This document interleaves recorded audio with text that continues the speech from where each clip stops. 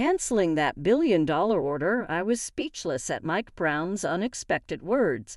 I think they were trying to scam us, but unlike that fool, Daniel, I'm not falling for it. Anyway, the order is canceled, so no need to deliver. Is it okay if they go bankrupt? I asked seriously. But Mike Brown laughed and mocked me. It'll be you guys going bankrupt. Good luck finding another sucker. Keep up this shady business, and you'll pay for it eventually. With that, he hung up the phone. The next day, while I was working, Mr. Robert, a call from Mr. Brown at Northridge Trading, Will said with a disgusted look, Tell him I'm out all day. However, after being told I wasn't in the office, Mike Brown started calling my cell like crazy. I realized I had given him my business card with my number on it. I couldn't just turn off my phone, so I decided to ignore it. I'm Robert Jones, a 53 year old employee. My company specializes in cybersecurity. In short, we provide companies with network security and data protection technologies. Cybersecurity companies may not be publicly known, but they're implemented in every business, and ours is fairly well known in the industry. I joined this company at 35 and now work as both the head of development and an engineer. My previous job was fulfilling but had excessive overtime, which made me want to change jobs. My wife, Sarah, greatly encouraged this decision. Sarah, three years younger than me, is far more decisive and capable. Life will work out somehow, just go for it, was Sarah's catchphrase. Though it sounds like something a tough mom would say, it was her constant encouragement that pushed me to switch to my current company. Here I can leave work on time every day. This is partly because it's a well organized, large company but also because we have many talented employees. Robert, I'm free right now, so I'll take care of that. My direct subordinate, Will Johnson, offered.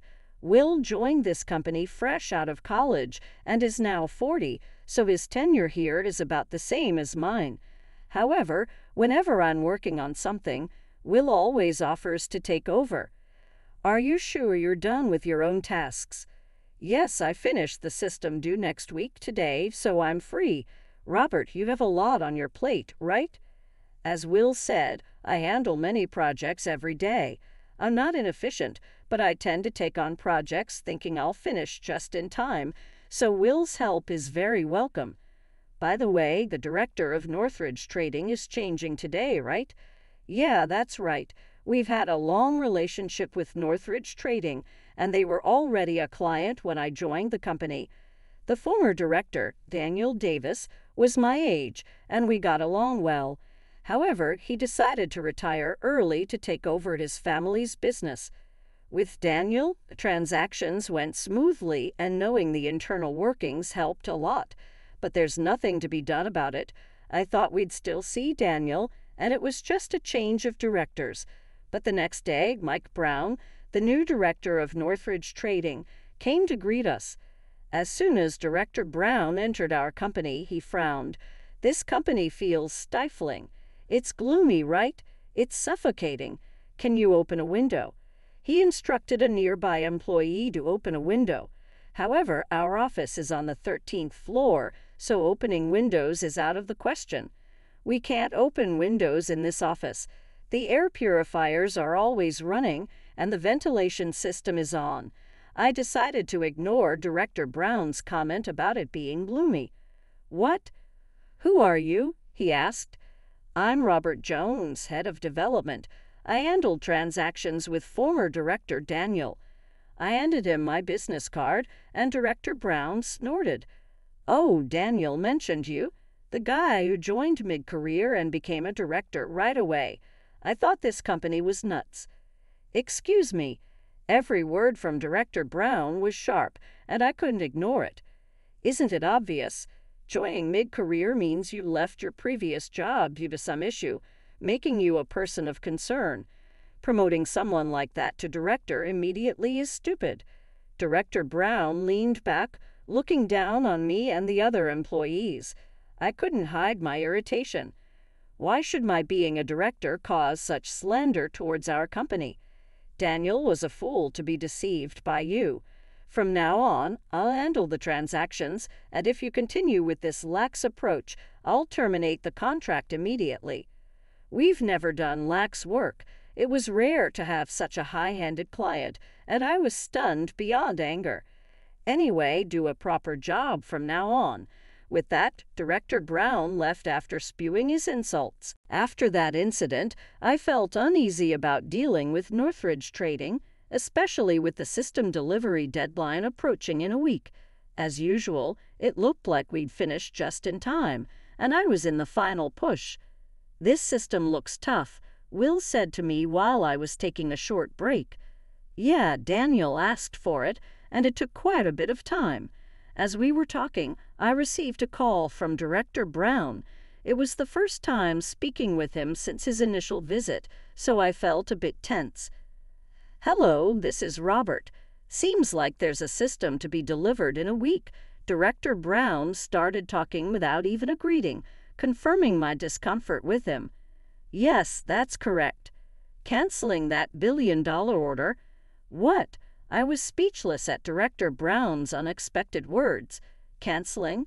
The system was already completed, and the costs for development and labor were substantial. I wanted to believe it was a joke, but he continued, We don't need such an expensive system. Apparently, Daniel had been dealing with you, but I found another company that can create a similar system for a tenth of the price, so we'll go with them. Director Brown spoke proudly. I was working on an updated version of the existing system. It was a new request since the current contract was about to expire and they needed a more secure system.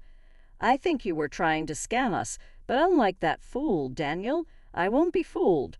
Anyway, the order is canceled, so no need to deliver.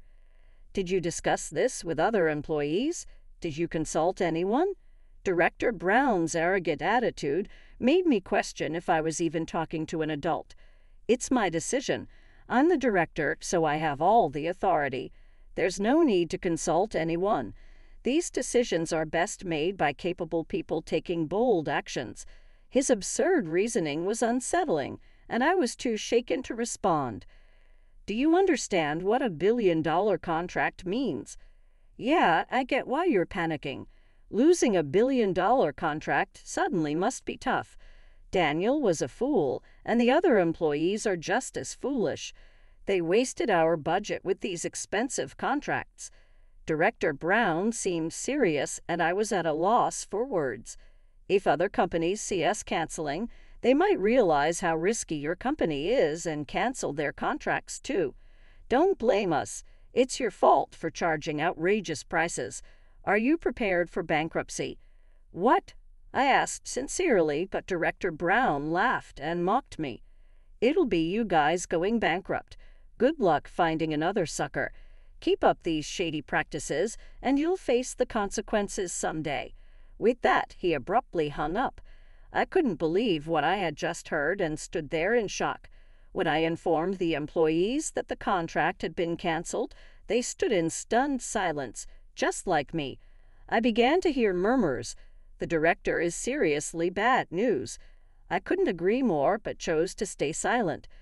The next day, while I was working, Will approached me with a grim expression. Mr. Robert, Director Brown from Northridge Trading, is on the line. Tell him I'm out all day. Honestly, what Director Brown said yesterday hit me hard. He spoke terribly about Daniel, whom I was close to, and accused us of being a scam company. I really didn't want to talk to him anymore. However, after being told I wasn't in the office, Director Brown started calling my cell phone incessantly. I remembered that I had given him my business card with my number on it. Feeling disheartened, I couldn't just turn off my phone, so I decided to ignore the calls. The number of missed calls reached an unsettling amount, almost like a horror movie. Suddenly, Director Brown burst into the office shouting, Robert. His sudden appearance startled me so much that I nearly had a heart attack. The employees were also frozen in shock. You're here. Why aren't you answering the phone? Director Brown was furious, his face bright red. A quick glance at my missed calls showed asterisk asterisk 103 asterisk asterisk, which sent chills down my spine. Do you know who I am? Don't you dare mock me, he shouted, kicking a nearby trash can, which ended up crumpled. He then grabbed a large potted plant, ripped it out, and smashed the pot to pieces. The chaotic scene unfolding before me filled me with fear, but I tried to calm him down. Sorry for not answering. I didn't have my phone on me. I lied desperately. You said you weren't in the office today. Director Brown walked straight toward me. I heard the employees gasp, and for the first time, I felt a cold chill down my spine. He grabbed my collar and punched me in the face, sending me sprawling to the floor as the employees screamed. I'm being told I'm fired because of you. Do something about it now. Will immediately rushed to my side, asking, Are you okay? Nodding, I stepped forward to shield Will. Acting like this without explaining anything isn't how an adult should behave, I said, trying to stay calm. Shut up. It's your fault. Director Brown snapped. When I said I canceled the contract with you, they told me I was fired. If it was such an important contract, you should have stopped me harder yesterday. Director Brown's reasoning was utterly unreasonable. I sighed, wincing at the pain in my cheek. I did ask you yesterday if you were prepared for bankruptcy, remember? Of course, I thought you were joking. If it was such an important system, you should have said so. I can't believe a company like yours could make something that important. Director Brown stomped his feet and yelled, Robert, are you okay? Suddenly, Daniel, the former director, appeared. Seeing the chaotic office and my injured face, Daniel turned pale. Daniel, why are you here? Mike called me too. When I listened to the voicemail, he was furious about the contract with you, so I came to check on things. Daniel turned to Director Brown, shouting, What on earth are you doing? Director Brown was older than Daniel, but Daniel had become a director early due to his exceptional skills, so in terms of position, Daniel was likely superior. I heard you unilaterally canceled the contract with Robert. Why did you do that? Without the system Robert is developing, our company will go bankrupt. Despite having ridiculed Daniel so much, Director Brown shrank back when confronted directly. But another company said they could make the same system. No ordinary company can create a system with the same level of security as Roberts. He was originally a white hat hacker. A white hat hacker. Yes, a white hat hacker is an expert who conducts authorized intrusion tests to protect computer systems and networks. I used to work as a white hat hacker for a private company, but my skills were recognized and I began working with the police. It was rewarding to use my abilities to protect the country but it was incredibly demanding. I often had to work late nights or stay away from home for days on end. At that time, our twins were just born, and Sarah was struggling with childcare. Not being able to see my cute children or participate in their upbringing took a toll on me mentally. However, I was aware that my job was special. During that period, I was ranked as the top white hat hacker and was entrusted with work involving critical national projects. I had confidence in my ability to meet those expectations. The thought of crime increasing if I quit made it hard for me to muster the courage to change jobs, but Sarah pushed me forward. In reality, there were plenty of talented white hat hackers even after I left. Robert, you're overthinking it. Things always work out in the end. Sarah's optimistic outlook always lightened my heart. The security system Robert develops, having worked for the country, is not something an ordinary company can imitate. Our company handles a vast amount of customer card information and bank accounts. Remember the hacking incident where information was leaked? That's why our security needs to be extremely tight. The systems Daniel requests always require unparalleled security. It may sound arrogant, but no one else in this company can create them, and it's not something another company can replicate overnight. That's why it was surprising to hear another company claim they could. You realize showing our system to another company is a severe breach of contract, right? Director Brown looked at me with a dumbfounded expression, clearly not understanding. You've got to be kidding me. This is beyond embarrassing. As a former boss, Daniel held his head in disbelief. The system Robert is developing for us is classified. It's tailored specifically for our company, and only employees above a certain rank can access its details. Everyone in our company knows this. Daniel was genuinely exasperated, looking up at the sky. If that system leaks outside the company, penalties will be incurred. That's how important that system is to us. I didn't know about any penalties. Director Brown stammered, and Daniel blared at him. How could you not know? It was written in big red letters in the system manual. Daniel shouted. I didn't see that. Director Brown was almost in tears.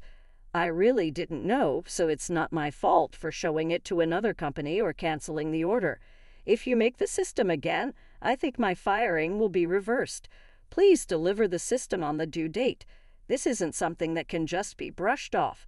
Ideally, we should be handling this through lawyers, not directly. Hearing the word lawyers, Director Brown glared at me. How long are you going to keep saying that? The system stops in a few days. Without a replacement, our company will go under. You wouldn't want that, so just deliver the system. I couldn't understand why he was getting angry again. At this point, the system that was supposed to be delivered to your company has already been repurposed into another system. What? Director Brown looked confused. I had another project that was similar to your request, so I reworked it and delivered it to them. The basics were the same, so it worked out well. I just delivered it a while ago. What? Director Brown still seemed confused. So if you want the system delivered, we'll have to start from scratch, which will take several months. Even if it took only a day, we have no intention of doing business with your company again. Finally understanding, Director Brown turned pale at my words. No business. You can't be serious. Without your system, I'll be fired. That's not my concern. You've trashed our office and injured me. We will be claiming damages, compensation, and medical expenses. Director Brown was speechless, his eyes wide with shock. What part of this was surprising? After causing so much havoc, a simple apology wouldn't suffice. Beg the president if you must and explain that you can't use our system. Find another company to build your system, though I doubt any company can deliver a security system in just a few days. Director Brown stared blankly into space, his pupils dilated, looking quite frightening. Sensing danger, I slowly backed away from him. I didn't want to get hurt again. It's your fault. It's your fault. As expected, Director Brown lunged at me, but Daniel restrained him from behind, and Will stood in front of me. At that moment, the sound of police sirens could be heard. Finally, they're here. The employees, including myself, sighed in relief while Director Brown looked confused and said, What? It's not surprising. After everything that's happened, calling the police is the obvious thing to do. I felt the tension release from my body and collapsed into a sitting position. I had never experienced such fear before. Hearing the approaching sirens, Director Brown finally gave up and calmed down. After that, the arriving police officers arrested Director Brown on the spot and took him away. I also had to go to the police station for questioning, and it took quite a long time. By the time I got home, it was past 8 o'clock p.m., and I was completely exhausted, both mentally and physically. Director Brown is now being held on assault charges and will face a civil lawsuit. The damages, including the penalty for leaking our system, my medical expenses, compensation, and the damages to his company, amounted to an eye watering sum. Director Brown was promptly abandoned by his wife and, of course, fired from the company.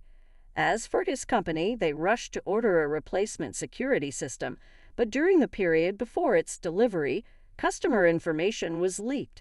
It was an inevitable result since they had no security system in place. Since it was a fairly large company, the incident was covered on local news. They mentioned compensating the customers whose information was leaked, and I wondered vaguely if this would increase the damages owed by Director Brown. As for me, I was busy working on a system again. Today, there seems to be something called the Robert brand among companies. What's that? I tilted my head at Will's words. If a company says they have a system made by Director Robert, it's considered to have strong security and business negotiations go smoothly. Oh, so that's why it's called the Robert brand. I laughed, feeling satisfied. It's an honor to think that my name alone can help with business negotiations. Director Robert, you're truly amazing. No wonder your name is a power word. Our company received a record number of new graduate applications this year. Many engineers want to work under you. I once worked for the country, trying to prevent crimes as a white hat hacker. I thought I would never find a job more fulfilling than that. However, fulfillment isn't just about the scale of the work. Now I'm gradually reducing my own projects and focusing on training my subordinates. Training the next generation of engineers will ultimately enrich the future. There might even be an exceptional white hat hacker among the engineers I train.